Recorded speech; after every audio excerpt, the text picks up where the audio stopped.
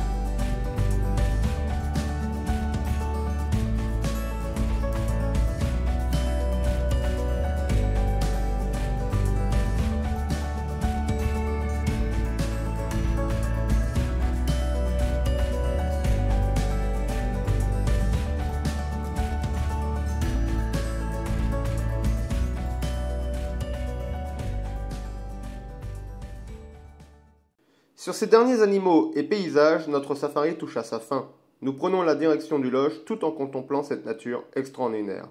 Le lodge étant à même le parc, cela m'a permis de profiter encore quelques instants de ces animaux évoluant dans leur habitat naturel.